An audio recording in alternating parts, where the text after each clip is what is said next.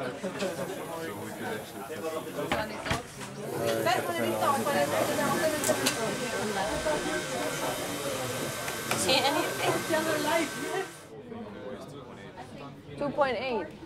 Well, that's good. And the position?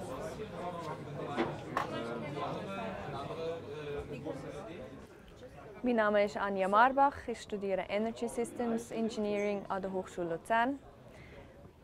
Nach meiner Ausbildung als Konstrukteurin bei der Firma Schindler bin ich mir nicht so ganz sicher gewesen, ob der rein technische Beruf auch wirklich das Richtige ist für mich.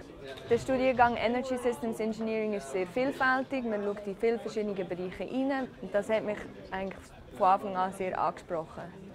Durch die Ausbildung habe ich herausgefunden, dass ich gerne in die Projektleitung hineingehen In der Projektleitung hat man den technischen Teil wie auch den wirtschaftlichen Teil und das spricht mich sehr an.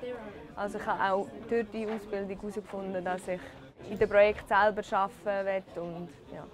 Den Studiengang Energy Systems Engineering kann ich jedem empfehlen, der gerne in interdisziplinären Gruppen arbeitet, gerne verschiedene Kulturen um sich hat und wo auch interessiert ist an verschiedenen Themengebieten wie eben Maschinenbau, Wirtschaft, Elektrotechnik und Informatik.